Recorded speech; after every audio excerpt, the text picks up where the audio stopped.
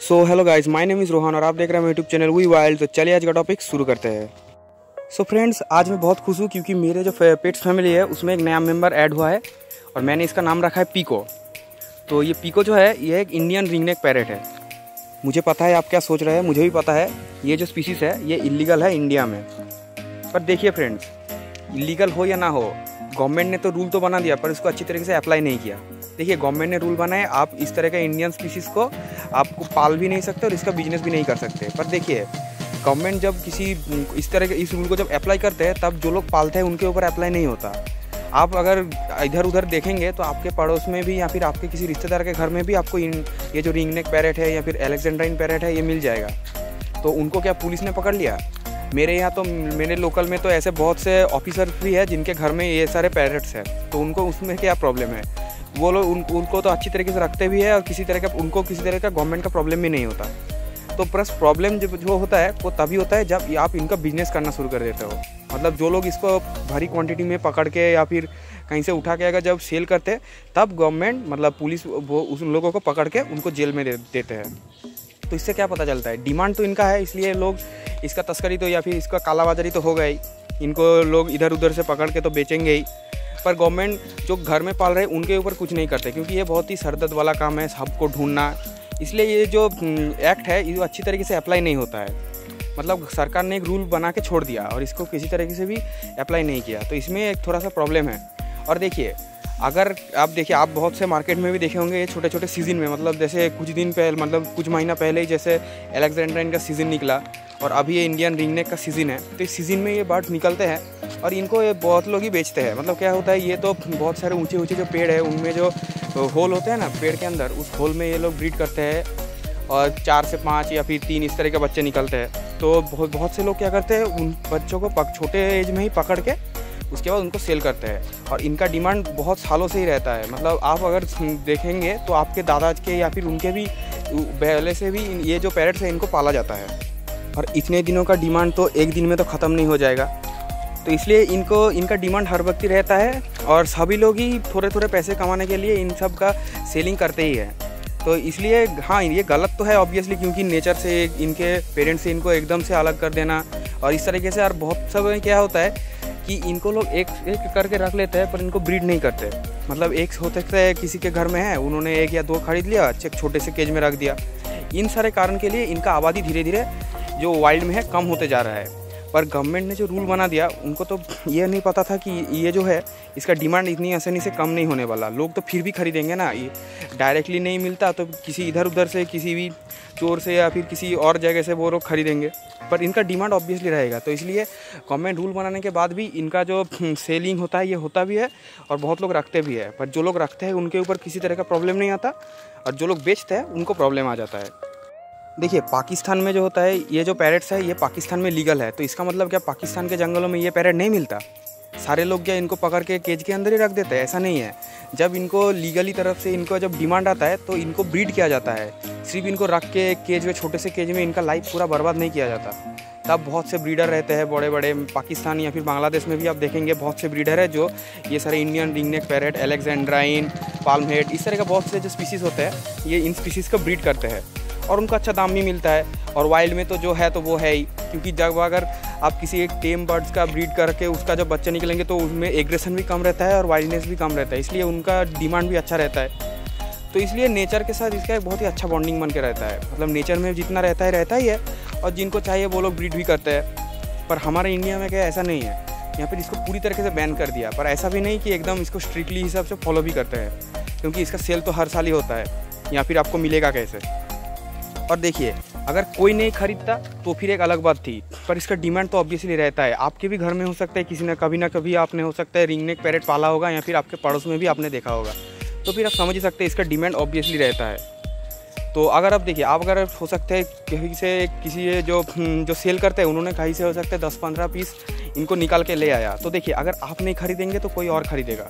पर एक बार जब उन्होंने उसको, हम उसके नेट से निकाल लिया तो इसका मतलब उसका लाइफ तो तब भी ख़त्म हो गया। मतलब अब तो वो अकेले जी नहीं सकते। हो सकता है किसी के घर में जाके जाएँगे या फिर अगर कोई नहीं खरीदा तो एंड में क्या होगा? एक इतने सारे बच्चों को तो जो बेचते हैं, उनको उतना एक्सपीरियंस भी नहीं रहता, उनको अच्छी तरीके से खिलाने का।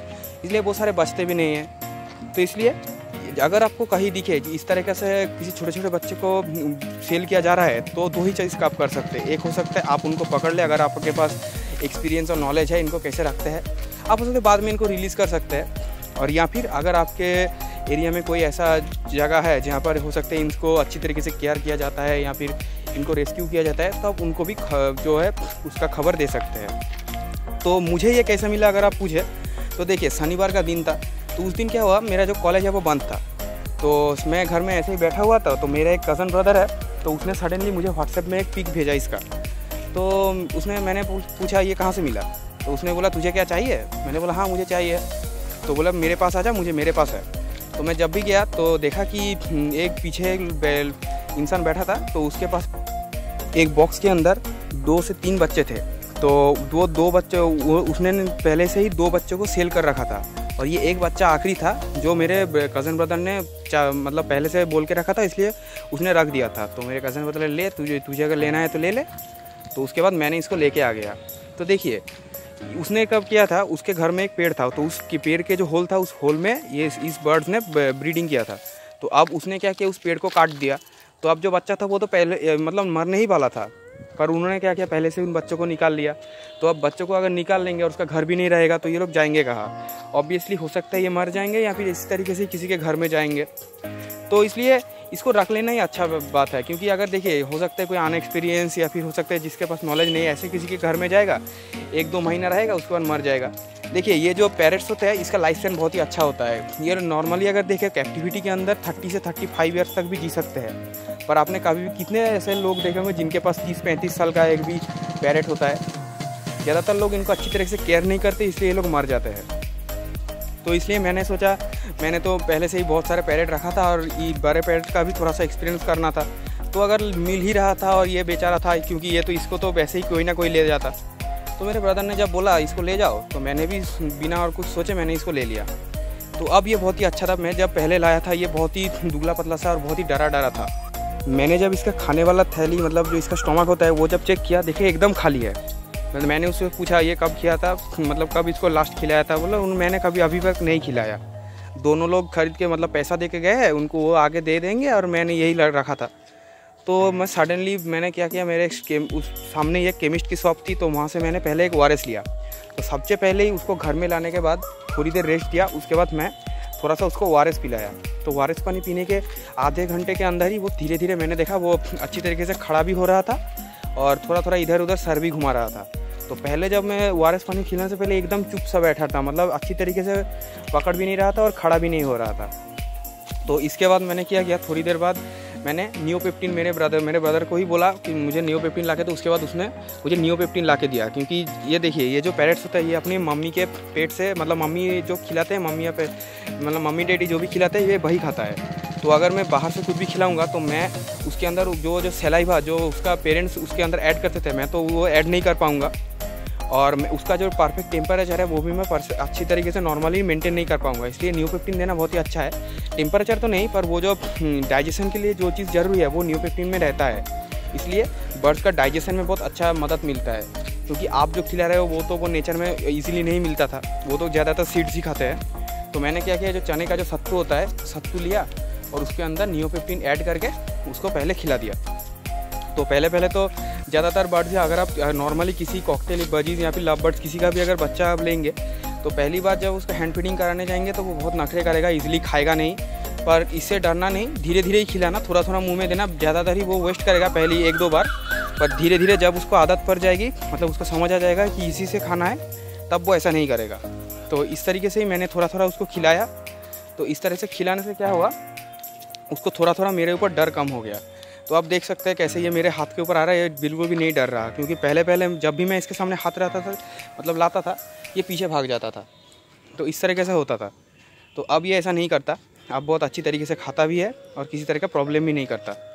तो इसी तरीके से मैं इसको एक छोटे से टोकरी है उस टो, उस टोकरी के अंदर जो पैडी होता है उस पैडी को निकालने के बाद उसका जो स्ट्रॉ बचता है उस स्ट्रॉ को डाल के छोटा सा नेस्ट बना के रखा है। और ये अगर नहीं हो सके तो आप इसके अंदर की जो कोकोनट का जो, बाहर का जो लेयर होता है, उसको भी बारीक करके आप इसको दे सकते हो। या फिर वुडन का पीस इस तरह का किसी भी चीज़ को आप दे सकते हो, पर सबस्ट्रेट देना बहुत ही ज़्यादा ज़रूरी है, क्योंकि आप देखेंगे नॉर्मली अगर किसी फ्लैट सरफेस पे अगर इतने छोटे बच्चे को आप स्टैंड कराएँगे तो देखना उसका पैर जो है वो बाहर की तरफ़ जाने लगेगा। तो इससे क्या होगा लेग बेंडिंग का भी प्रॉब्लम आ सकता है। इसके कारण इन फ्यूचर में जाके आपका बर्ड्स ठीक से खड़ा नहीं हो पाएगा, अच्छी तरीके से चल नहीं पाएगा। उंगली या फिर पैर टेढ़ा हो जाएगा, बहुत तरह का प्रॉब्लम आ सकता है। इसलिए सबस्ट्रेट देना बहुत ही ज़्यादा ज़रूरी है, जिससे इसका पैर फिसले ना तो इसी तरीके से मैंने एक सबस्ट्रेट दिया और इसको अभी देखिए, अगर आप एलेक्जेंड्राइन का बच्चा अगर ले तो वो जनवरी मतलब दिसंबर से फेबररी या फिर मार्च के शुरू शुरू तक मिलता है। तो इस टाइम क्या होता है, सर्दी रहता है। तो इसलिए उसको अच्छी तरीके से हीट प्रोवाइड करना बहुत ही ज़्यादा ज़रूरी है। पर ये जो टाइम है इस टाइम में रिंगनेक का सीज़न है। मतलब इस टाइम इस ये रिंगनेक बर्ड्स है इनका बेबी निकलता है। तो इस टाइम क्या होता है इनको अगर आप अच्छी तरीके से रखना चाहे तो इनके लिए अपना हीटिंग बल्ब देने के लिए ज़रूरत नहीं है क्योंकि नॉर्मली टेम्परेचर अच्छा रह, अच्छा खासा रहता है। तो आपको क्या करना है इसको डायरेक्ट खुली हवा में या फिर डायरेक्ट फ़ैन के नीचे नहीं रखना। क्योंकि इससे इसको प्रॉब्लम आ सकती है। डाई अगर ज़्यादा बॉडी ठंडा हो जाएगा तो डाइजेशन नहीं होगा। तो डाइजेशन नहीं होगा तो इसके मतलब उसको प्रॉब्लम आएगा। इसलिए इस बात का आप ऑब्वियसली ध्यान रखिए। तरीके से। मैं भी इसको फ़ैन के मतलब फ़ैन के नीचे नहीं रखता, बाहर एक जगह पर अच्छी तरीके से रख देता हूँ। और सुबह के टाइम मैं जो करता हूँ, जब थोड़ा थोड़ा एकदम सुबह को मतलब सात से आठ के अंदर जब रोशनी जब निकलती है तो उस टाइम मैं बर्ड्स को थोड़ी देर के लिए उसको धूप में रखता हूँ। क्योंकि देखिए, अभी इसका ग्रोथ स्टेज है। अगर आप इसको अच्छी तरीके से सनलाइट लगाएँगे तो इसमें क्या होगा विटामिन डी थ्री का डिपोजिशन होगा, और इसके, इससे मदद से क्या होगा, आप जो भी कैल्शियम सप्लीमेंट मैं दिन में एक बार करके मतलब सुबह जब खाना देता हूँ, तब मैं कैल्शियम और विटामिन का सप्लीमेंट देता हूँ। तो ये कैल्शियम विटामिन सप्लीमेंट को एब्जॉर्ब करने में ये विटामिन डी थ्री बहुत ही हेल्प करेगा। इसके बगैर भी, इसका कलर इन्हेंस करने में और भी बहुत सारे चीज़ में, ये जो सूरज का रोशनी है, ये बहुत ही अच्छा काम करता है। इसलिए सुबह के जो सनलाइट जब उगता है, तब 10 से 15 मिनट के लिए मैं इनको मतलब इसको जो है धूप में रखता हूँ। तो देखिए, ये था हमारा आज का वीडियो। मैंने जितना मेरे पास नॉलेज था बर्ड्स को रखने के लिए, मैंने वो नॉलेज आपको शेयर किया। और एक बात बोल देना चाहता हूँ, ये जो छोटे बर्ड्स हैं, इनको कभी किसी तरीके का मिल्क मतलब मिल्क सब्सटेंट सब्सटेंट जो होता है कभी मत दीजिए। मतलब सैरलक टैरलक भी बहुत लोग हाँ खिलाने का कोशिश करते हैं, पर मैं एक बात बोल देना चाहता हूँ, ये जो सैरलक होता है, इसके अंदर मिल्क का सब्सटेंस होता है, पर ये जो बर्ड्स है, ये लोग मिल्क को डाइजेस्ट नहीं कर पाता, इसलिए बहुत तरीका प्रॉब्लम आ सकता है। क्योंकि नियोपेप्टिन से अगर हो सकता है, बहुत सा कम हो जाता है, पर ये जो फ़ूड मिल्क सब्सटेंस है, ये अच्छा नहीं है बर्ड्स के लिए। तो आप अगर हो सके तो किसी तरह का हैंड फीडिंग फार्मूला भी ले सकते हैं और यहाँ पे नॉर्मली जो चने का सत्तू होता है या फिर जो बेसन जिसको बोला जाता है, उसी तरीके से किसी भी जो फ्लावर होता है, वो वो आप यूज़ कर सकते हैं। उसके साथ ही आप कैल्शियम विटामिन का सप्लीमेंट ऐड करके। तो ये था हमारा आज का वीडियो किसी नेक्स्ट वीडियो में ये मेल है या फीमेल ये बात मैं बता देता हूँ, ये एक मेल है। तो ये मैंने इसको कैसे आइडेंटिफाई किया कि ये एक मेल है? तो मैं किसी और दिन बनाऊँ, बताऊँगा कि जो रिंगनेक पैरेट होता है, इनमें मेल और फीमेल का डिफरेंस क्या होता है। तो अगर आपको किसी नए टॉपिक पे वीडियो चाहिए तो प्लीज़ मुझे बता सकते हैं और इसका नाम पीको कैसा लगा तो वो भी मुझे कमेंट करके बताइए। तो मिलते हैं एक नए दिन, नए वीडियो के साथ। Thanks for watching